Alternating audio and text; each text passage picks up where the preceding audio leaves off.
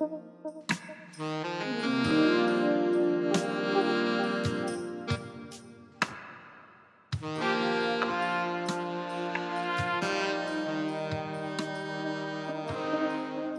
vil du gøre for, at fagbevægelsen ikke bliver en støvet museumsgenstand? Jeg vil sige, at jeg er hammerne stolt af, at vi står her og er på museum. Fordi det betyder jo, at de her 150 år, der er rigtig meget at fortælle for dem.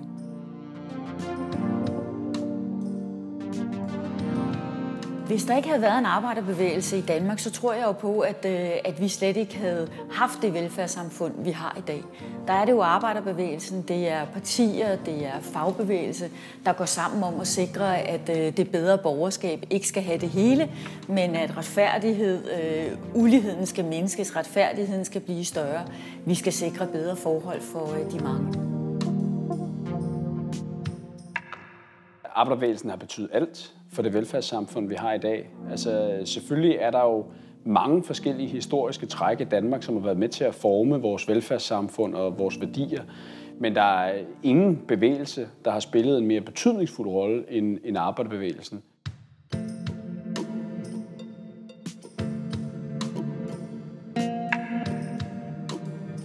Når du ser på det her diagram over arbejderbevægelsens øh, forgreninger, hvad tænker du så? Jamen, jeg tænker, når jeg ser det her billede, at det er helt fantastisk, hvordan det har været. Øh, jeg tror også, at øh, vi vil have godt af at lave noget tilsvarende i dag. Det vil se meget, nu siger jeg meget mindre, øh, mindre øh, ud i forhold til de forskellige øh, organisationer, der er. Men det, jeg tror, der er rigtig vigtigt stadigvæk at sige, det er, at, at øh, når jeg kigger fremad, så har vi brug for os at tage alt det gode, vi kan samle os sammen om, når vi nu er mere end 1,3 million øh, lønmodtagere i fagbevægelsens hovedorganisation, så skal vi jo også bruge det til at få nogle gode aftaler rundt omkring til at lave noget rigtig godt for, øh, for, øh, for de lønmodtagere, der er i Danmark.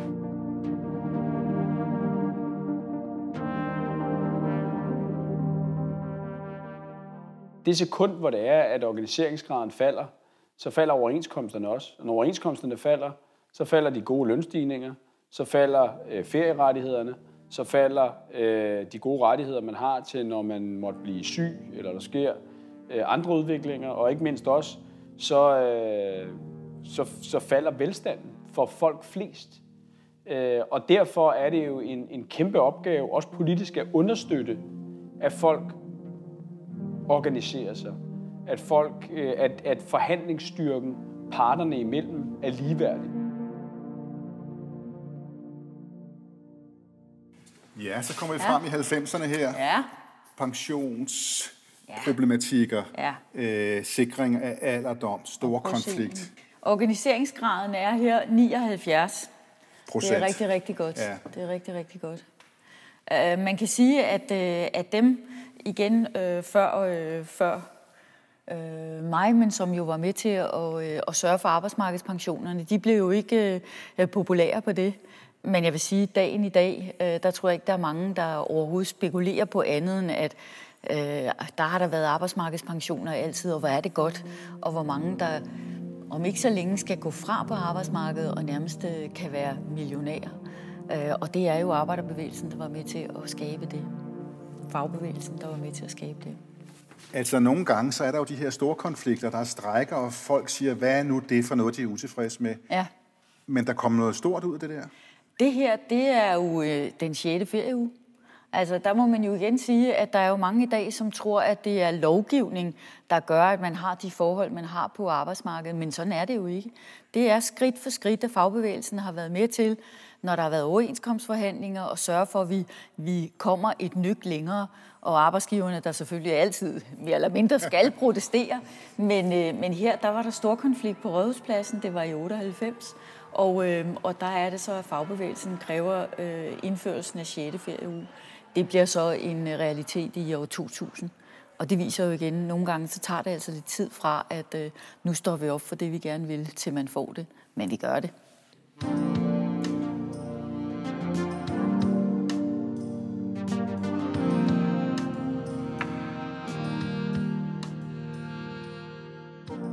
Tror aldrig nogensinde, man skal bilde sig selv ind, at man står et sikkert sted.